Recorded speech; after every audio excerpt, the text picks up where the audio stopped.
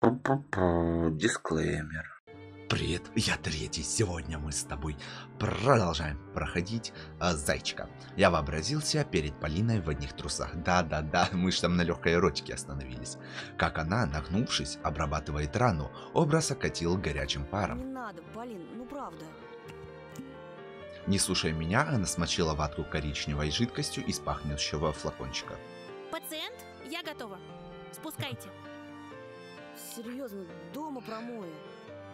Улыбка стерла с ее красивых губ, вертикальная морщинка рассекала переносицу, в голосе появились капризные нотки. Перестань сопротивляться.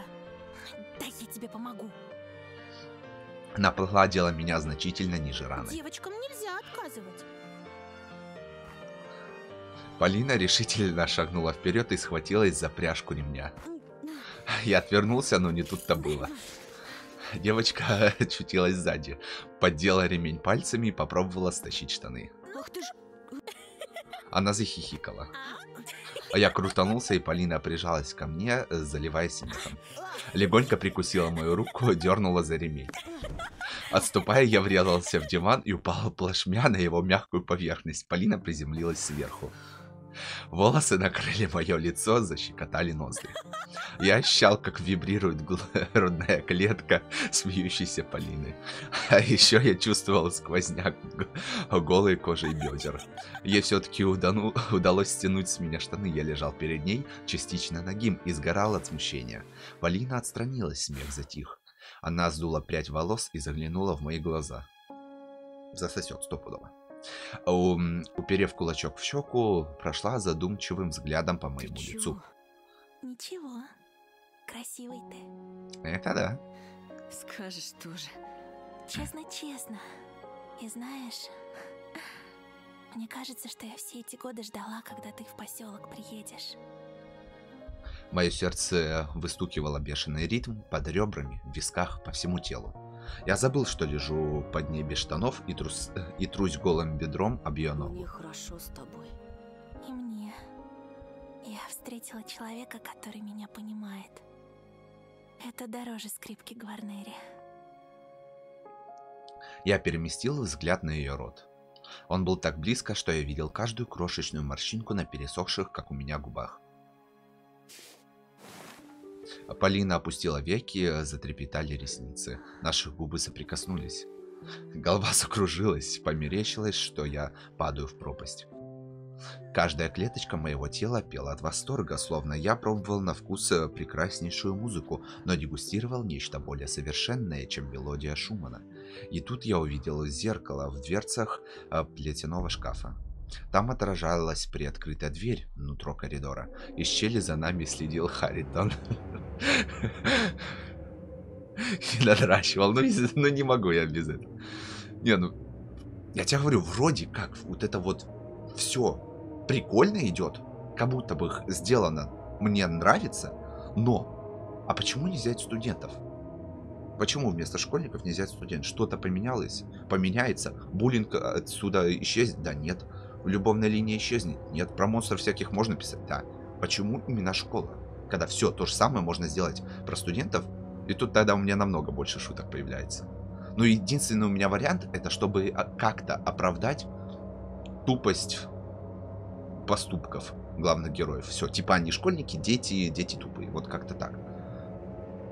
А хмурое лицо будто плавало в черных водах э, темноты. Глаза впились в меня глубже и злее, чем кошачьи когти. Рассекреченный старик дал задний ход, отъехал от двери и канул в варево теней.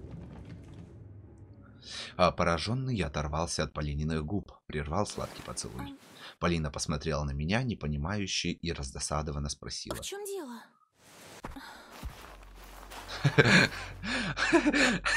Ну, видишь, я не могу много шуток высказывать, только потому что школа. Э, Я выпутался из-под нее, встал, натягивая штаны, с третьего раза застегнул ремень. Я вспомнил просто. Пообещал маме вернуться к ужину. Не уходи. Полин, послушай. Не уходи, Тош. Голос задрожал, слезы потекли по щекам серебристыми ручейками. Сейчас рассказываю, что типа дед ее ебет или что? Я оцепенел от неожиданности. Настроение Полины сменилось моментально, так же, как и тема э, в монологе ее деда. Но ведь дед был странным и чудным. Кстати, дед на дед... Забыл сказать, но дед очень сильно похож на Дед Мороза. Но нам уже сказали, что он типа Новый год прошел, мудила. Помнишь, когда зайчика маску нашли? Соответственно, будь э, это до Нового года, я бы сказал, что тут какой-то сюжет будет с поворотом, что, мол, он Дед Мороз. Где-то в лесу найдет, типа, будет хороший персонаж Дед Мороз и плохой. Этот черт. И этот черт, он будет как бы... э, как его там... Противоположность Дед Морозу. С копытами, с рогами этот. Как его звали-то, а? Не помню, не помню. Вот с языка... На языке вертится, но не могу сказать. Забыл, прикинь. Ты чего, Полин? Ну перестань. И будет типа битва добра со злом. Ну да, логично. И по нашим поступкам в итоге пойдет две линии сюжета. Либо мы будем с добром, либо со злом. Я беспокойно склонился к Мам, ней. Правда. Все же хорошо.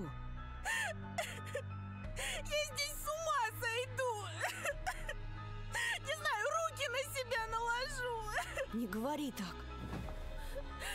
Она повалилась на кровать, ладонями прикрыла лицо, всхлипывая. Превратилась в сдавленное рыдание. А я растерянно потоптался на месте, не зная, что Давай предпринять. сбежим. Завтра же соберем вещи и уедем в город. Вы в шестом классе. 12 лет.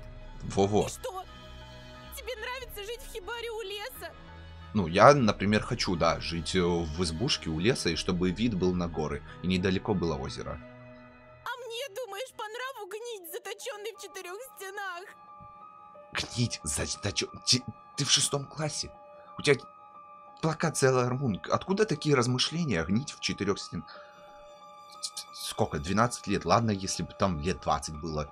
Но я тебе говорю, если поменять ш- школьников на студентов, идеально все ложится. Или, или это мне кажется. Ну, Ну ты скажи. Может, я что-то придираюсь. Но почему? Ну, было бы все идеально. Неужели реально школьников сделали, чтобы оправдать тупость поступков их? Ее кулачки били по дивану, тело Если выгибалось. ты мужчина, уведи меня из этого места. На какие шиши?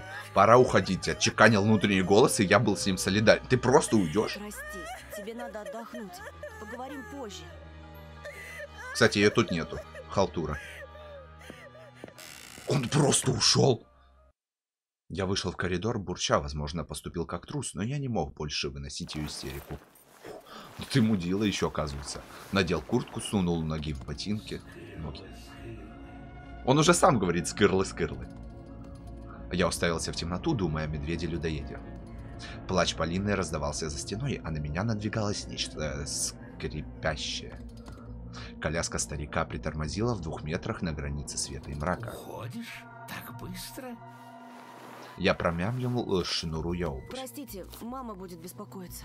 Ты знаешь настоящее имя своей матери? Петров Антон.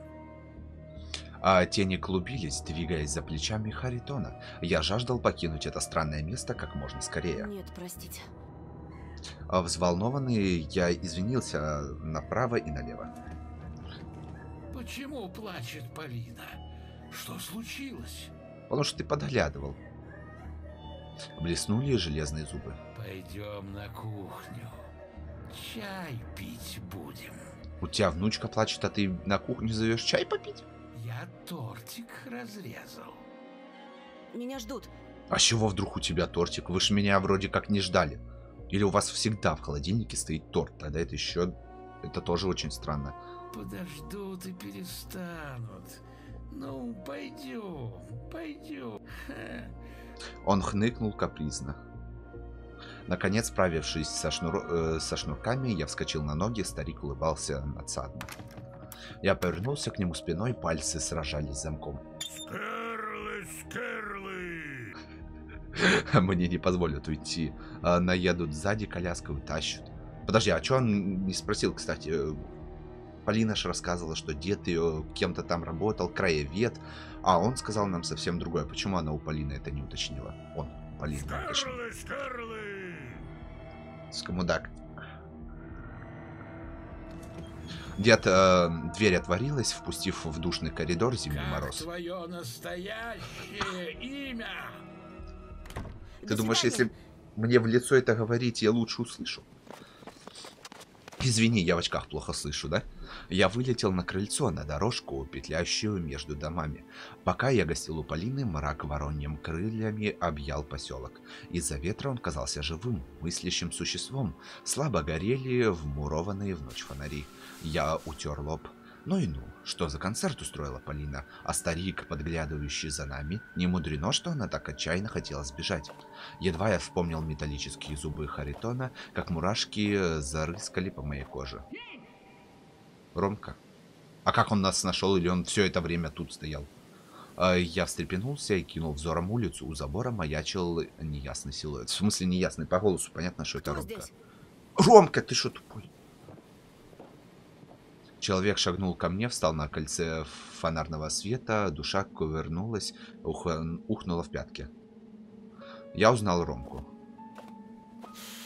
А щеки одноклассника были мокрыми, а глаза покраснели. Он плакал, э, прячась в темноте. Ты столько стоял и плакал просто. Сука, быстрее. Ну, привет. Дарова. Разве я не предупреждал тебя, а? О чем? Разве не говорил, что убью, если увижу рядом с ней? А ты видел? Вы что, с дедом оба подглядывали на пару? Раздался щелчок, сверхнул нож бабочка. Ой, ты сколько раз уже со своей эти... Зубочисткой. Эм, обескровленные губы Рома... Чего? Обескровленные губы? Чего? В смысле, побледневшие, что ли? Обескровленные губы Ромы растянулись в страшной гримасе. Зрачки сверкали, словно две монеты. Ром, убери нож. Думаешь, я псих? Я покажу тебе, что делают психи. Кто говорил, что ты псих? Рома, А я ступал, боясь повернуться к нему беззащитными лопатками. Да, грудь-то у тебя на более, более защищена, да? Ромка шел на меня скались. Жалкий ублюдок. Шел на. В уголках его рта выступила пена. Он судорожно утер лицо рукавом, еще сильнее размазал слезы по щекам. Ну, пока у него пена на губах есть, если все равно он меня убьет, можно вот так вот подойти, вот так пальцем в нос ему вот так сделать. Бешеная сучка. И пизда мне. Остекленевшие глаза заволокло туманом ненависти. Амулет-коготь, который мне дала Полина, снова пришел на выручку. Время словно замедлилось, стало как янтарь, в котором застыл не только я, но и Ромка с его опасным ножом.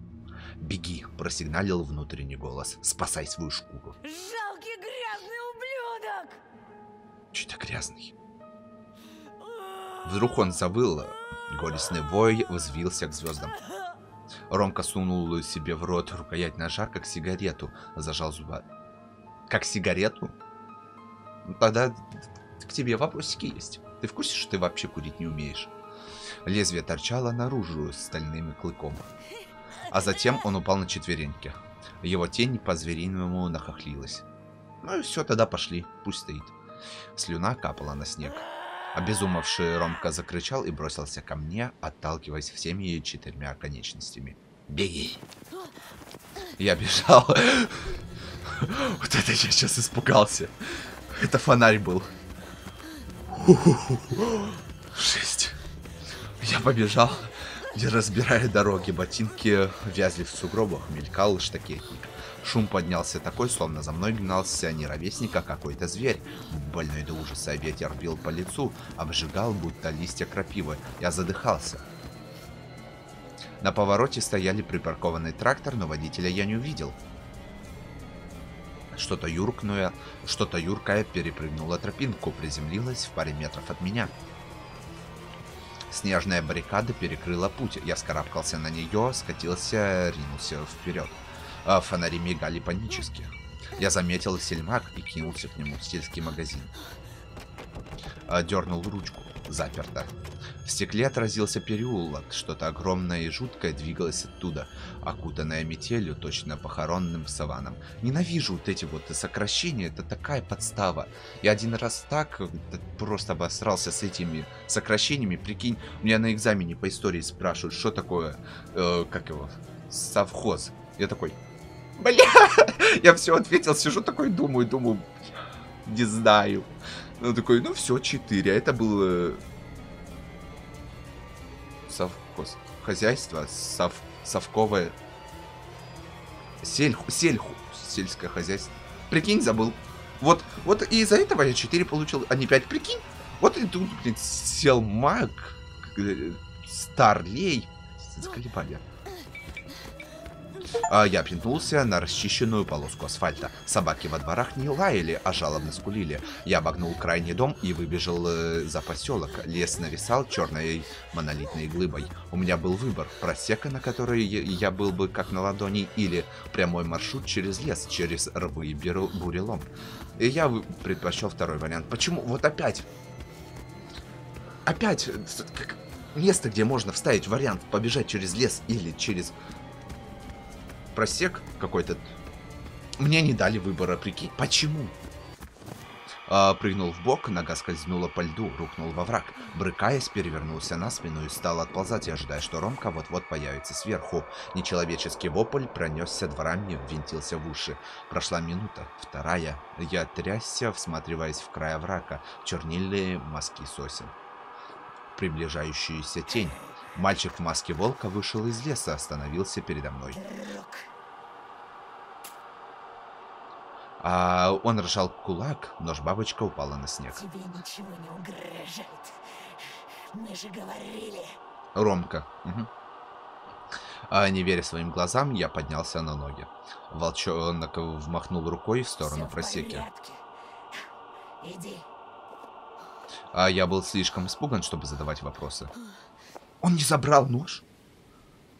Потому я молча ушел, хромая вдоль колышущихся деревьев, и постарался не думать о сгустках тьмы, что провожали меня охранять за кустами. А нож ты что не забрал? Он все улики с собой с- собирает. а, ну, ну. Я еще не. Как минимум нужно было забрать нож, чтобы Ромка больше не угрожал мне. Такой, я тебе еще пырну. Ой, а где нож? А я такой, а вот. м, А Я еще не знал, что ждет меня в месте, которое я по ошибке называл домом. Почему по ошибке называл домом? Входная дверь была открыта и чуть покачивалась от ветра. Мне показалось, что иней покрывает мою кожу. Я стиснул кулаки. Мрак просачивался в прохожую, а с ним, медленно планируя на ковер, влетали снежинки, будто стая падальщиков, почуявших добычу. Я осторожно перешагнул порог. Вдруг услыш... Вдруг ус... Вдруг услышал, как кто-то говорит на кухне, но это была лишь, но это был лишь радиоприемник. Циклон, о котором мы предупреждали, движется к региону. Завтра синоптики обещают ветер с порывами до 15 метров. МЧС призвала жителей соблюдать меры предосторожности. Дороги перекрыты. Холодная воздушная масса арктического происхождения несет с собой буран. МЧС странно, что не выделили в словарь, типа Министерство чрезвычайных ситуаций. Просто не все могут это знать. А с- с- Сверху тоже доносились голоса. Заскрипели протяжно ступеньки. А, я делал шаг, а сердце за это время успевало ударить 5-6 раз. Дверь родительской комнаты была отов- отворена. В пять дней света выступал театр теней, черные силуэты исполняли танец ненависти. Мамины кисти взметались к потолку, когда она шипела на отца, а он нависал, скрестив руки на широкой груди. Мы все в опасности. И все из-за тебя. И не ври, ты видела его в поселке. Он вычислил, где мы живем. Это был не он. Я читала в газетах, на что способны твои дружки. То есть я был прав, да, насчет сюжетки про него? А, я пробежал к спальне. Родители снова ссорились, выясняли отношения, э, сыпали взаимными обвинениями. Отец низко по-звериному зарычал. Пусть они прекратят. А чё ты стоишь, подслушиваешь такие? Нет, нет, пожалуйста, не кричите, я же все слышу. Кошмар, прекратите. Оля стояла в коридоре, прижавшие ладошки к ушам. Я отогнул видение, в... Чего я отогнал видение, в котором сестру за мои грехи убивал ножом Ромка? Когда такое видение было?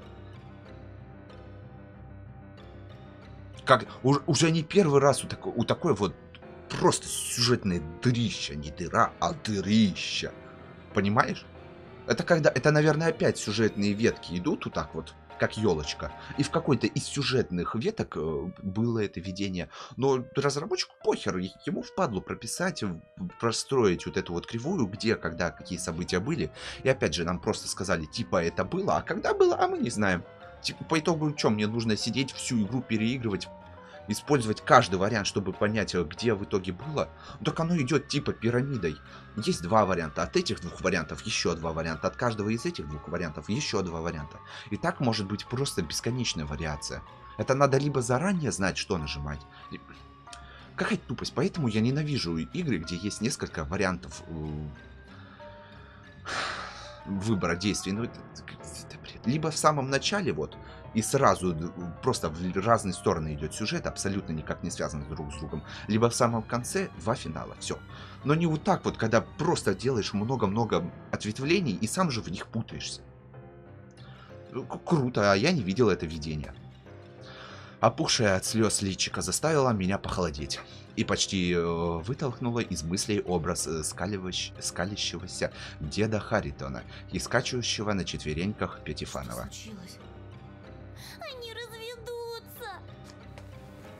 Я обнял сестру и прижал к себе.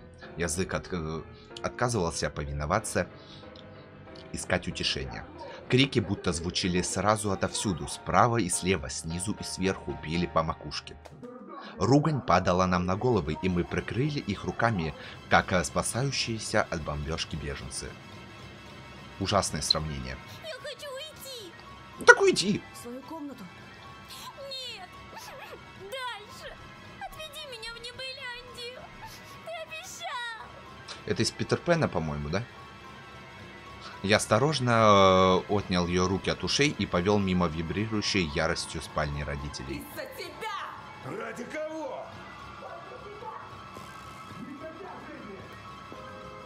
Они вообще друг друга слышат вообще? Почему их слова не связаны друг с другом вообще никак? В эти минуты я презирал их сильнее, чем они презирали друг друга. В комнате я заперся на шпингалет и прислонился к дверям, колени подгибались. Почему тебя не было так долго? Я был в гостях у одних странных людей. Они тоже разводятся? Не думаю. Что-то стукнуло о карниз снаружи. Оля вздрогнула и бросила взгляд на окно. Бам! Снежок повторно шлепнулся в раму. Ты ждешь кого-то? Да, ко мне же гости через окно заходят на втором-то этаже. Я не ответил. Э, отпустил ее запястье, она всхлипнула испуганно. Я прошел по комнате, морщась от каждого родительского вскрика. Билась посуда. Папа с мамой переместились на кухню. Я дернул штору и рывком распахнул окно. А Совушка, медвежутка, волчик и, конечно, пленительная Алиса все были в сборе и махали нам снизу. Оля ойкнула, завидев девочку-птицу. Я же говорила. А чего ты взяла, что это девочка, птица? Да, знаю. Я тебе всегда верил. Кто они?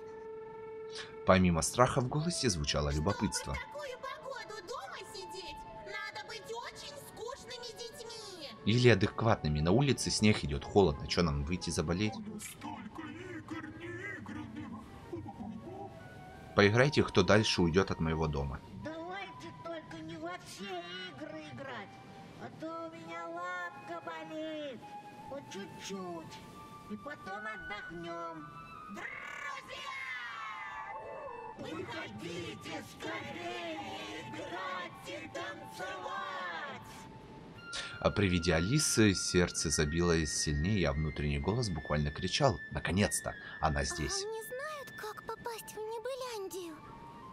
Вот сейчас момент. э, а скажи ей нет, что Небыляндии нет, ну...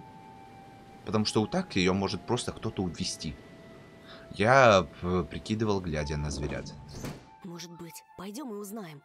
Какое пойдем узнаем? Даже выбора не будет пойти или нет? Вы что, издеваетесь? Вот опять выбор, который нужно сделать. Пойти э, к, к- к этим зверям или не пойти. Что за... Фигурки лесных друзей обещали избавление от горя, гнева и ужасной ночи. А я проследил, чтобы Оля закуталась потеплее. Мама лаяла на отца отрывисто, как дикое животное из передачи Николая Дроздова. Мы просеменили мимо гремящей кухни, выскользнули под снегопад. Да, мне кажется, в Word просто писали и потом замену всех слов сделали. Потому что просеменили уже какой, в пятый раз, да? И ни разу не было слова «прошли», «ушли». Ко мне тут же подбежала Алиса и обняла меня, уткнувшись холодным носом в Как шею. же долго! Пока мы вас домоседов ждали, то чуть не состарились.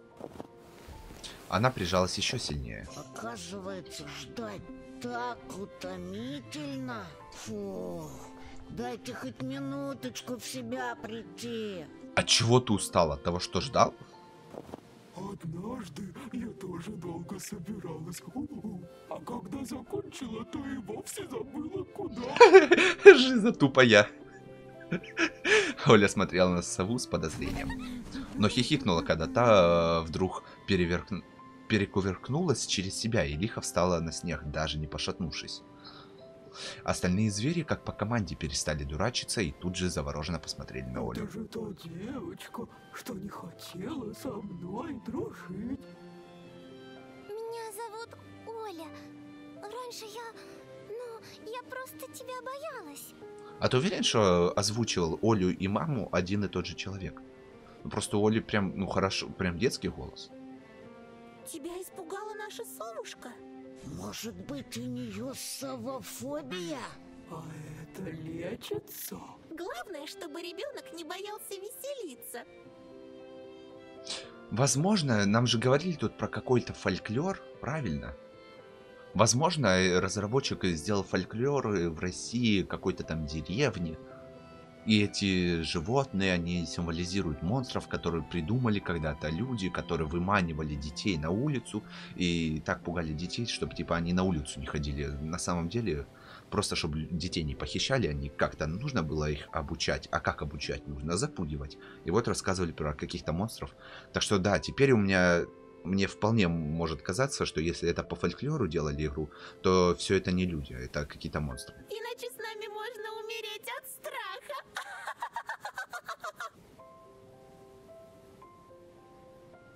А я поразился, поняв, что губы э, мои складываются в улыбку.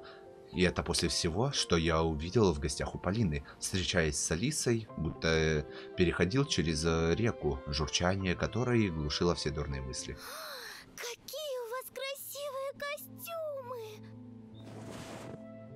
Девочка-лисичка разжала свои объятия и присела рядом с Олей. Ой-ой-ой-ой-ой. Фух, я запись включил, а то я уже испугался. Просто обычно, когда запись, еще показываются FPS, а сейчас что-то не показывают. Девочка-лисичка разжала свои объятия и присела рядом с Олей. О, какая очаровашка! А я... Антоша, почему ты прятал от нас это милое создание раньше? В смысле прятал, сова же ее видела сколько раз. Я покосился на дом, опасаясь, что родители могли заметить нас и, как всегда, испортить все веселье. И сказал, обняв сестру. Давайте отойдем подальше. Да, по-любому, сделали детей, чтобы оправдывать э, тупорылейшие решения. Запросто. Это свет так падает. Да, Оля, а ты знаешь, как найти в нашем лесу Деда Мороза? О, а вот и Дед Мороз, я же сказал. Хотя Новый год уже прошел по сюжету. Или это опять какая-то ветка сюжета через жопу сделана. Я тебе говорю, да, если бы сделали про подростков, то было бы очень много критики, мол, почему главные герои такие тупые. А типа с детей спроса нет. Глаза сестренки округлились. Нужно идти по сладкой тропинке. Алиса наклонилась и вынула из снега конфету. Оля всплеснула ладошками. Посмотрев на меня вопросительно, я кивнул. Сестра захрустила конфетой. Ты с пола съела? Ты чё, прикалываешься? У нас что, в лесу завелся Дед Мороз? Нет, точнее, два ребеночка-дебила, которые едят конфету со снегу. Там, где бегают бродячие собаки и суп. Почему? Ты мне не рассказывала. Я рассказывала. Сегодня днем. Но ведь днем я сплю. Ага. Вот я и рассказывала, пока ты спала. А слушая их ребяческую болтовню, я почему-то вспомнил Ромку. Как во время погони тот истошно закричал всего за пару минут до появления волчка. Что случилось с Ромкой? Поверь, он в порядке. Жив-здоров твой Ромка. Только такой вредина, как он, вряд ли получит от Деда Мороза подарок. Максимум горсть угля. Ну или по шапке. Медведь жутко комично погрозил перебинтованной лапой, и зверята дружно расхохотались. А, моя едва проснувшаяся тревога тут же забылась, улеглась.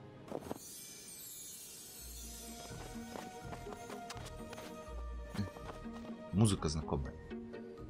Алиса кинулась э, прочь, э, вильнув рыжим хвостом, точно факелом. Оля инстинктивно двинулась за ней, засмеялась, вынув из сугроба вторую конфету. Вы такие бодрые, на вас аж смотреть противно. Да блин, случайно. А ты давай не зевай, должна была сказать Оля, она, но она ни хрена не сказала. Лучше беги с нами к Деду Морозу, пока все подарки не разобрали. Скажешь тоже. Скорее уж мне на голову свалится три кило конфет, чем я поверю в байки лисицы. Когда сладости стали падать на макушку медведя, я сам не удержался от смеха. Так забавно, он мой колы втягивал шею. Да, они прям, ну, ведут себя... Вот это вот, например, типа, хорошая шутка, да, но дети бы так не делали.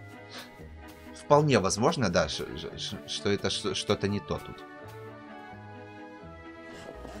Угощение... Угощения перева- м, переливались на снегу. Медведь чихнул и достал из уха Мишки на севере. Э, Я часок. А уж потом пересчитал все эти шоколадки. У меня такое подозрение, что тут не больше килограмма. Да мне тоже так кажется. А, со стороны э, леса донесся крик Алисы. Не в этой жизни! Давайте скорее! Дед Мороз уже заждался нас во дворце! А, я пожал плечами и побежал, потому что э, бега злые тиски. Чего? Потому что от бега злые тиски страха ослабевали. Что-то круглое прилетело возле моего виска, и я решил, что это снежок. Э, Но Оля вс- воскликнула. Не подбирай, он испачкался. Да ты шо, конфеты, которые вы только что ели, типа не испачкались. Ты что, веришь в микробов? Что? А ты нет? Раньше верила. Как будто бы, как будто бы, эта игра идеально подходит для детей, да? У них и вопросов не возникнет, почему вот эти дети тупые. И, мол, учат, э, ты что, в микробы веришь? Ой, ты что, слушаешься родителей? И потом покажут, что это плохо кончится, и такие, блин, надо слушаться родителей. Но кровавые сцены, это как будто бы вообще не для детей. А как, для какого возраста эта игра, мне интересно? Стройные сосны великаны встречали нас с шорохом своих лап. Снег слово валил снизу вверх в бескрайнее черное небо. Сугробы полыхали, точно расплавленное серебро. Как же красиво! А я думала, в лесу страшно. Нас родители пугали лесом, снегом и совой. Ну а мы с собой играли в снежной чаще под луной. А я старался не упускать из виду Олю, но это было довольно сложно. Сестра то кидалась за кусты, подбирая все новые конфеты, то, смеясь, выпрыгивала на тропинку. Совушка пронеслась над нами, села на ветку и заухала, мотая головой. А, Волчик вскопал мордой снег, вытянул горсть жвачек и проглотил, не снимая обертки. У тебя будет несварение. Волк испугался и выплюнул жвачный ком.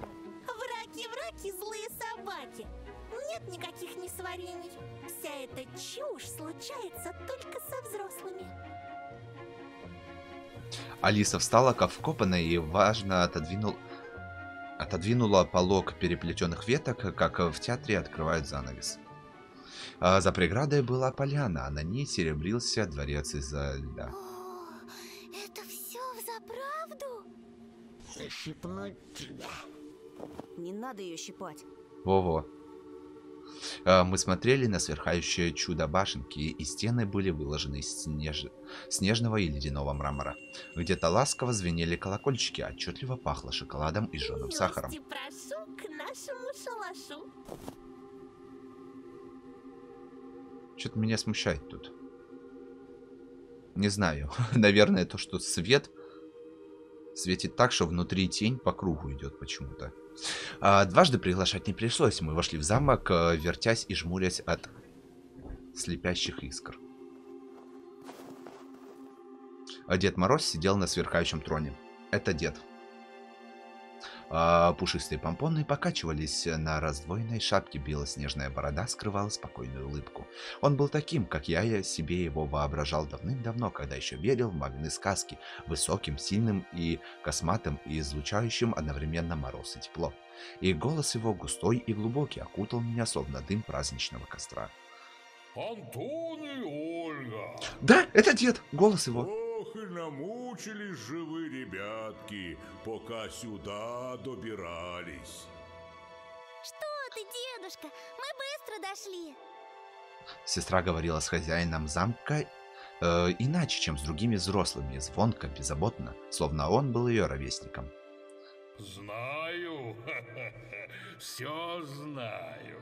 Мне мои друзья докладывают, кто был покладистым весь год, того подарок утром ждет. А кто ленился и грустил, пускай он дедушку простит. Лентяем и грустяем конфет не запасаем. Грустяем?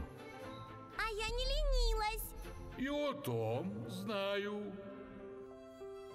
Он обвел нас пристальным взором. Маска Деда Мороза скрывала настоящее лицо. Все это время я молчал и смотрел, мой взгляд будто примерз к старику. А я мог принять живущих в лесу детей и фантастические прыжки до луны, но Дед Мороз в ледяном замке ошарашил настолько, что я лишился дара Есть речи. у меня для вас кое-что особенное. В его огромной руке появился мешок, в нос ударил запах какао, халвы и мандаринов.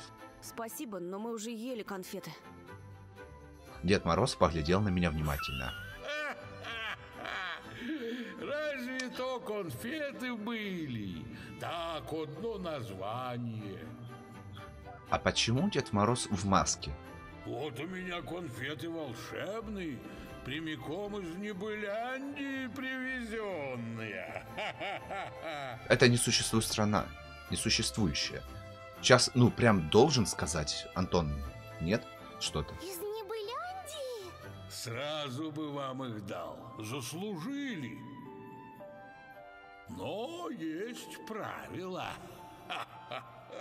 И чё он молчит? Кстати, меня смущает этот прямоугольничек. Это что, лед просто лежит? Надобно вам три дедушкины загадки отгадать. Попробуйте. И последняя будет типа... Кто сейчас умрет? Вы. А. А я не успела разлепить пересохшие губы. Тогда слушайте первую. В нем живут машины и хранятся шины. Гараж. Гараж. Про черный гараж нам говорили Бяшу. Про Бяшу. Что-то там за черным гаражом. Это, во-первых. Во-вторых, все, все, все, все, все. Это вот начинается и музыка тревожная, и про черный гараж, значит, третья загадка я угадал. Кому сейчас будет жопа? Вам. Типа такого. Я посмотрел по сторонам на детей в масках. Они замерли в углах, но их тени плясали на стенах. Что-то тихо гудело, и я подумал, рабея, это ворчит их, ворчат их желудки. Гараж! Верно. Теперь вторая загадка. Подключайся, Антон. Весь день ходит, как тень, посудой гремит, на всех шипит. Я вопросительно вскинул бровь. Мама? Оля потянула руку. Можно я, можно я? Это кошка! Верно. Хо-хо. Осталась последняя загадка и подарки ваши. Только вот не задача, ребятушки. Запамятовал я, о чем же была эта загадка.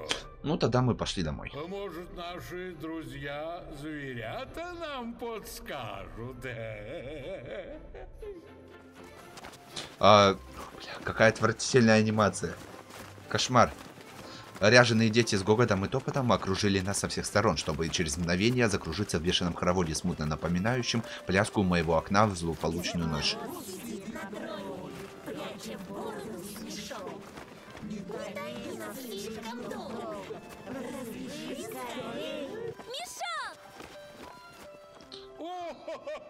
Дед Мороз засмеялся, довольный. Старика. Получайте. Сука, на. И он высыпал из багрового мешка гору угощений, каких я не видывал даже в рекламе. Жвачки самых разных форм, расцветок, вкусно пахнущие, с торчащими вкладышами. Леденцы размером с кулак, мандаринов, а размером соленую голову. А еще сникерсы, марсы, баунти и киндер-сюрпризы, которые мы так давно не пробовали. Ну, вообще, вот, видишь, тут написали специально неправильно фирмы, потому что фирмы нельзя использовать в своих произведениях без разрешения. А почему тогда название вот здесь вот прям правильно пишут? Ой, спасибо. Их потом, ну, и засудить могут. А я, я вытер рукавом выступающие слезы радости, когда мой внутренний голос убедил меня отбросить все сомнения. Именно этого я хотел для своей сестры. Настоящая Небуляндия, без унижений и запретов. Наконец-то мы будем счастливы. Дед Мороз распрямился, покидая трон, и возвел руки над угощениями. А звери по бокам тоже подняли лапы, и глаза блестели ярче драгоценных камней. Пасть волка была мокрая от слюны. А будет пир на весь мир! Какой пир? На какой мир? И почему ты конфеты на пол высыпал? Звери, э, толкаясь и рыча, бросились поедать конфеты одну за другой. Рты у них были вымазаны чем-то темным. Темным? А сестра схватила первую попавшуюся конфету и содрала фантик. При виде этого я почувствовал, что внутри меня будто качнулся маятник. Ой, смотри, веселенькая, грустненькая. Нет, не будем мы есть. Я вообще настаивал на том, чтобы сюда вообще не идти. Я вцепился волю в запястье, я вцепился волей на запястье так, что она пискнула то ли от боли, то ли, не от, то ли от неожиданности. По залу прошелся настороженный шепот, шевельнулись ушки масок. Тени перебежали с места на место. Что такое? Что случилось? Страшного. Просто Тоша верит в несуществующий диабет. Расказни родителей. Разбудите меня, когда он перестанет валять дурака. Дед Мороз склонился надо мной. От него пахло карамелью и совсем чуть-чуть сыростью. Давайте не будем портить праздник, друзья. Сегодня каждый должен веселиться. Ешьте и пляшите. Что ты так орешь? Оля попытался отнять руку, но я не разжал хватки. Я смотрел на сладости, на высокого старика и принюхивался к просачивающемуся запаху. Гниль, маскированная приторным ароматом, вонь дикого зверя. Казалось, кое-что... Какое-то сильное наваждение перестало действовать. Вернулся холод, усталость и страх. Спасибо, но мы сыты. И мы пойдем, наверное. Мама с папой переживают уже. Я потянул сестренку к выходу, но Алиса встала на перерез. В руках она держала фарфоровую тарелку. Мне померещилось, что блюдо наполнено парышами, но как только взгляд метнулся к подношению, вместо тошнотворно шевелящейся массы там оказались мармеладные змейки.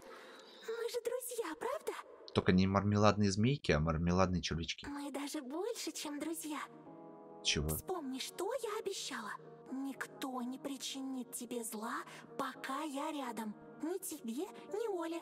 Так что съешь, пожалуйста, всего одну. Съешь, а? Почему? Антон, пусти! Но я бы не доверял, она прям уговаривает. Ну съешь, съешь. Нет. Теперь и ты все мне запрещаешь, прям как мама. Оля билась в истерике, э, силясь разжать мою хватку. Это неправильно. Все здесь какое-то неправильное. Вот как? Неправильно, что ты, балбес, посреди ночи пошел в лес. А ты не задумывался, что из неправильного тут только твое мировоззрение? Да, и какой же? Как ты думаешь, что делают те таблетки, которые ты глотаешь круглые сутки, м? Нам не показывали, какие это таблетки, и, конечно, оправдают тупостью ребенка. Типа, он не мог у мамы спросить, что это за таблетки. Они искажают реальность, путают мысли, уводят тебя со снежной тропинки. Чё? А я с подозрением посмотрел на Алису, пытаясь найти, чем ей возразить, но не смог. Вспомнилась окровавленная варежка Вовы. Это было лишь иллюзией. Кто вы? А на кого мы похожи? На маньяков-педофилов. на кошмары, терзающие мой больной рассудок. С нами вас никто больше не накажет, не запрет в комнате, не бросит в одиночестве. Отныне никто не заставит вас делать то, что вам не хочется. Но при этом выебут, ага. Откуда Знаю вы таких. знаете, чего нам не хочется? Да-да-да, не-не-не, все, книги, фильмы, это нас все научило, мы не будем это, все, домой. Старик прошептал на ушко громко чавкающего волчика. Я знаю, не шепчут ветра и тени, холодные звезды и безграничные небеса.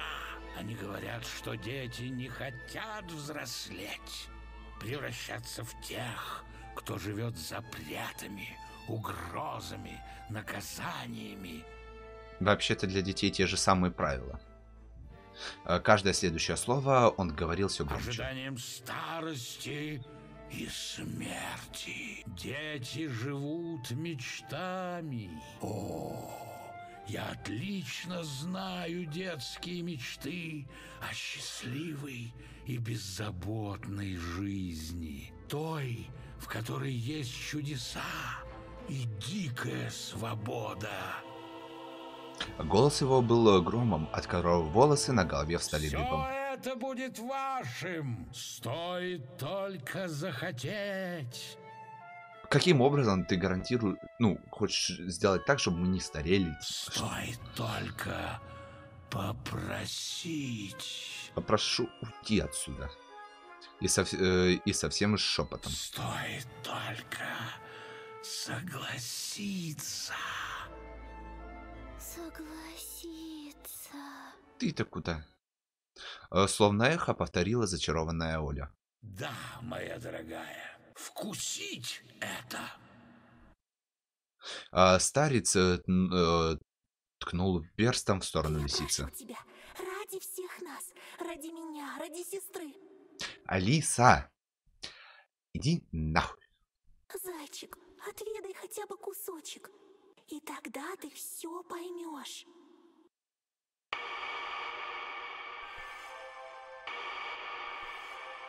Ой, червячки красивые. У меня возникло чувство, что ледяной ветер дует э, из дыр ее глаз, из темных глазных провалов других зверей и долговязого старика. А морда совы нервно э, подергивалась. Пасть волка истекала слюной. Медведь э, переминался с лапы на лапу, э, в раз избегавшись от, избавившись от сонливости. Чё? А сзади нависал тот, кто все это время притворялся Дед Морозом. Я сказал, мы уходим. Я покрепче стиснул руку сестры, конфета выпала из ее пальцев, шмякнувшись об пол. Э, Теперь и Оля испуганно озарилась. Я сказал, мы.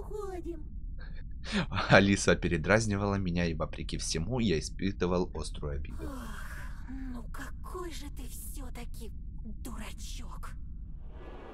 Я услышал мелодию флейты, но теперь она напоминала свист хлыста и агонию рыбы, выброшенной на лед.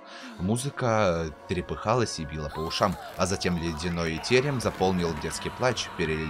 м, перелистающий в звериный лай, хруст костей и звук лопающихся шкур. В дребезги разбилась фарфоровая тарелка до краев, наполненная парышами.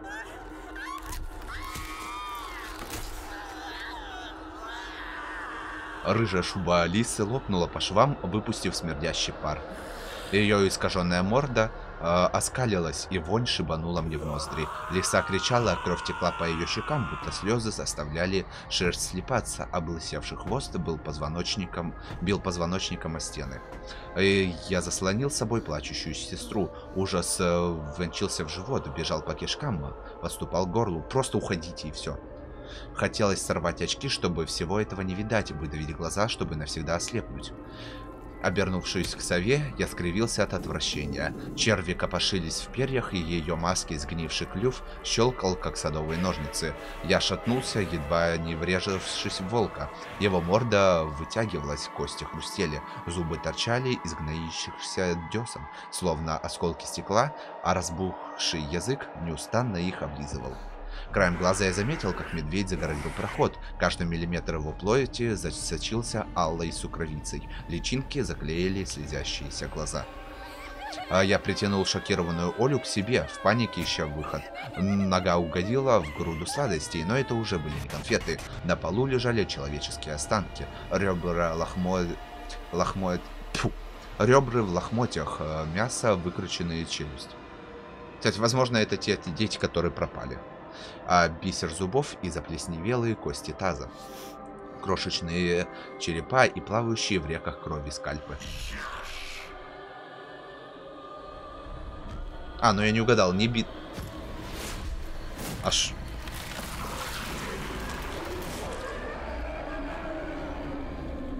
А что за анимация халтурная? Ну просто тут все рисует довольно-таки детализованно, а анимацию взяли самую-самую простенькую. Вот здесь вот в четвертой главе, в третьей начали, а в четвертой уже очень сильно прыгает стиль от одного до другого. Надо мной возвышалась рогатая уродина, сам сжимая в длинных когтистых руках костяную флейту. Гигантский сбросивший обличье старца козел. Черный, источающий ненависть и злобу, он испепелял раскаленными углями глазищ. Его рога царапали потолок. Да-да-да. А лед откалывался и таял, э, стекая в грязные лужи, а под ним обнажились металлические стены. Я понял, что мы обречены в тесном э, чреве темницы, оцепление... Оцепление... Чего? Оцепление... Тьфу. Оцеплененные воющими чудовищами. Я просто время уже не сижу. Сколько мы уже? Больше 20 минут сидим? Ну, видимо, да. Но, скорее всего, это уже конец, так что доиграем. И оставалось лишь крепче прижимать к себе сестру и смотреть, как сужается круг, как мерзнут лапы, тянутся из кровавого марева.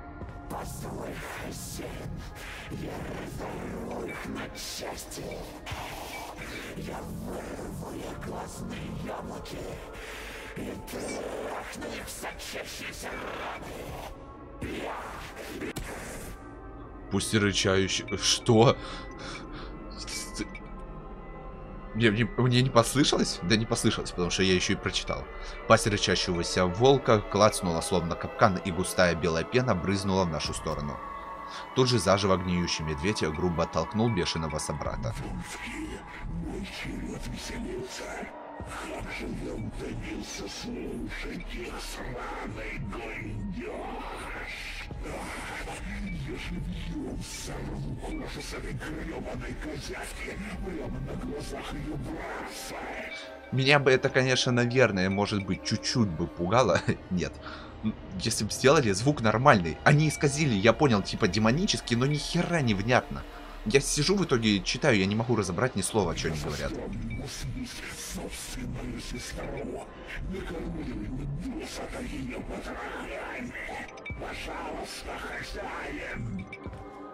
Казалось, сейчас его морда треснет, расколется как яйцо, из которого э, проклюнется что-то еще более мерзкое, страшное. Воскалившего, э, воскалившегося медведя вцепились совиные когти, крючи не давали тому приблизиться. Моя выглядки, лапы прочь от девчонки. Короче, тут в этом видео уже нарушены все-все-все-все-все правила Ютуба, кроме наркоты. Понятно. Клокочущий зверинец свалился в кучу, барахтаясь в кишках и талом жире. Они выли, дрались, кусались, вырывали друг дружки, клочья шерсти и горсти перьев, а, готовые растяжать друг друга, как свора голодных псов из-за объедков. Вдруг взвизг флейты отдернул их словно поводок. Хозяин стаи околдовал, страшил своей душераздирающей музыкой, вновь обратив их неподвижные молчащие марионетки, верно ждущие команды фас. Козел перестал обгладывать флейту из берцовой кости. В последний раз молкла дьявольская мелодия, хор вопящих младенцев, угодящих под каток. Кусок сырого человеческого мяса шлепнулся у моих дрожащих ног. А вне себя от ужаса я обернулся на Олю. Та лежала в стороне, присыпанная снегом. Ты спать решила сейчас? Совсем как мертвая Белоснежка в мультфильме. Возможно, она потеряла сознание от душераздирающего зрелища. А что терять сознание? Интересно вообще, чем все закончится. Мне хотелось разрыдаться в истерике, сойти с ума, умереть быстро и безболезненно прямо здесь и сейчас. Но, увы, я не мог. Я по-прежнему оставался в камере пыток, выбирая между ужасным исходом и в желудках чудовищ и каннибализмом.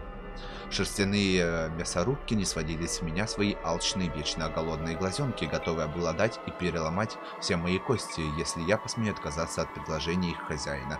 Но стоит мне согласиться, я так же, как и они, навсегда утрачу свою волю и разум, превращусь в вечно голодную тварь, пляшущую под дудку кровожадного безумца, и наверняка погублю Олю и всех, кого я так люблю.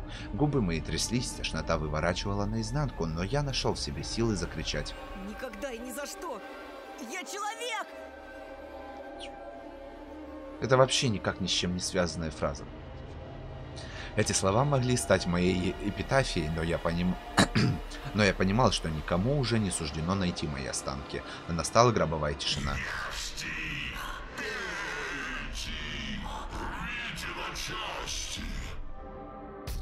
Рогатая тень накрыла нас. Внезапно Алиса метнулась к козлищу и встала между нами, крошечная на фоне огромного монстра. Хвост волочился за лесой, рисуя алый след. Блохи скакали по ее спине и проступившимся костям. Не спеши так. Не стоит. Подожди. Если они просто пожирают детей, так в чем проблема просто их похищать? Зачем вот этот вот весь обман? Зачем так э, притворяться? Так э, время просто тянуть? Просто взяли за шкирку и притащили, если вы уж все равно детьми питаетесь. Зайчик нам еще пригодится. Зайчик нас покормит. Вкусненько. Для медведя и лисы. Зайчик, кушать принеси. Пламя в его глазницах замерцало, замерзшие стуканы невольно оскалились. Неужели поставят выбор, типа, приведи сюда Полину, чтобы Полину схавали, иначе они сожрут мою сестру. Сейчас типа меня отпустят, а сестру нет. Вот это выбор будет.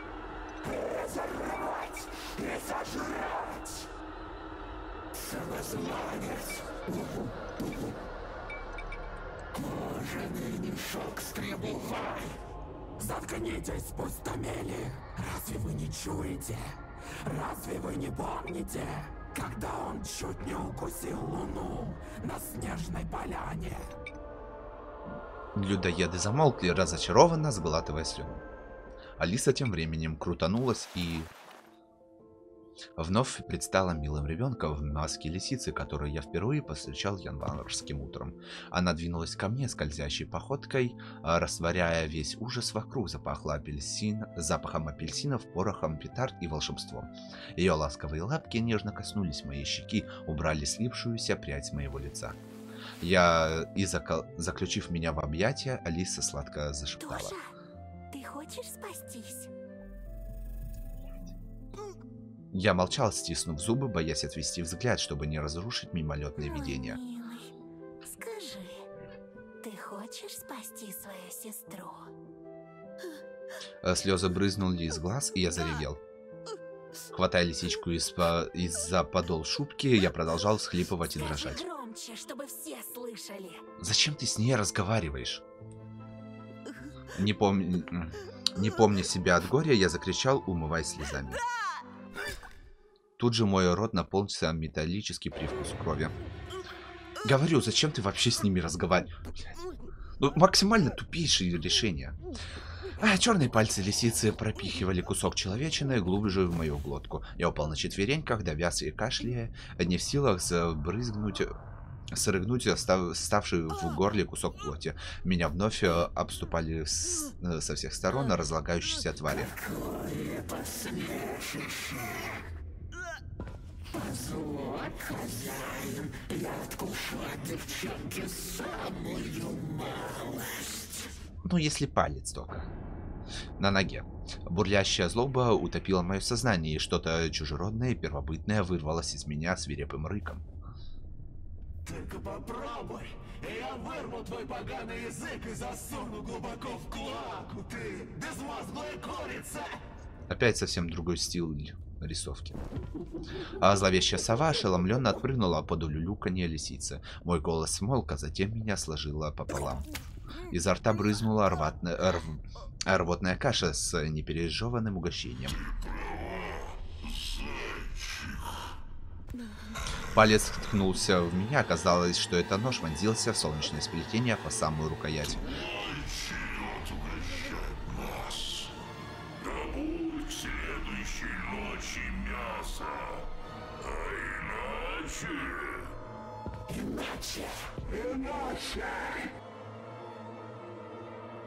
Алиса молчала, э, отступила в тень, а козел приблизил ко мне зловонную пасть и прорычал. Не верю. Вы прячетесь в лесу, заманиваете детей, а могли бы уже всю деревню сожрать. Соответственно, ничего вы не сделаете.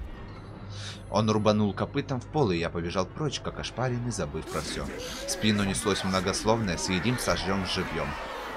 А сестру свою забрать? Лед падал мне на плечи кусками, в них вмерзли дохлые грызуны. Я вырвался на волю туда, где сосны шевелили ветками и сыпали снегом, словно кашевары, сдобр... сдобревающие солью яства. Ветер драл мои волосы, я повернулся и похолодел. О, гараж. Я же сказал. На моих глазах гараж все исчезал, растворялся слоями, тускнел и становился прозрачным, а потом порыв ветра смел фантом черных э, стен. А я говорил, я говорил, сейчас они похитят сестру и, скорее всего, заставят Полину приманить. Хотя я лучше бы Ромку приманил. И только сейчас я понял, что давно выпустил руку сестры, и она осталась в логове чудовищ. Да ты что? Вот это да, вот это ты внимательный. На месте, где минуту назад стоял дворец, рос сугроб. Блин, а если бы я рассказал менту про лисицу, тогда бы что? Он бы пришел к нам на помощь? Да нет бы. Я сомневаюсь. Скорее всего, это ход, который ни на что не влиял, потому что нам очень много ходов дают, которые, ну, по крайней мере, я не вижу, чтобы на что-то влияли. И логически, как бы, если подумать, они вроде тоже никак ни на что не влияют. Э, его верхушке торчала э, девчачья кисть, как крест из могильной насыпи. Вне себя от ужаса я бросился к сугробу и принялся расчищать снег. Под белой массой оголилось плечо и бледная Олина личика. Ее посиневшие губы дрогнули. Жива. Я сейчас! А я копал и молял ее держаться. Ее э, уже дошел до живота. А голос был слабым. Ничего, Отнесу тебя домой, согрею, шоколадом напою. Ты только не засыпай, слышишь? Ты только... Мои пальцы напоролись на что-то липкое и горячее, а я разгреб снег, сделался красным и рыхлым.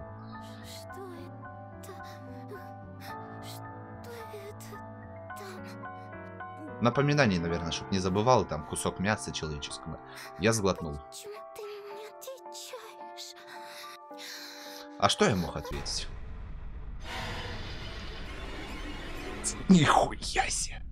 Ниже пояса тела Оли обрывалось, из туловища вывалились кольца кишечника. У меня есть хорошая и плохая новость. Хорошая, ты похудела.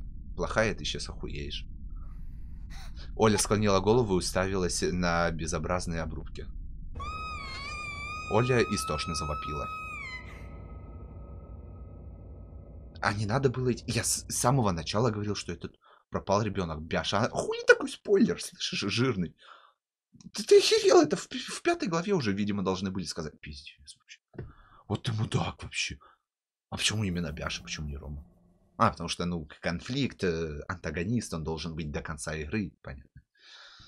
Так же, как и любовная линия, я думаю, тоже до конца должна быть игры. Так что с Полиной тоже вряд ли что случится. Хотя, возможно, пятая и шестая глава, или пятая, или и пятая, потом шестая, Короче, пятая и шестая глава будет заключительной, я думаю.